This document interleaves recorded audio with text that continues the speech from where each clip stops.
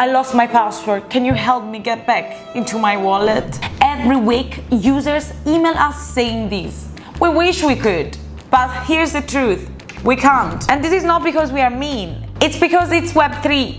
In the decentralized world, you are in control. That means no customer support can recover your wallet. No forgot password button, no reset link. Your access depends on one thing, your seed phrase. This is a list of 12 or 24 words that gives you full access to your wallet that gets generated once your wallet is created. So how do you store it safely? Well, never screenshot it, never save it in your phone note, write it down and keep it offline. Hide it well. Hackers nowadays can do everything. At Meta Earth, we know this can feel intimidating, especially for new users.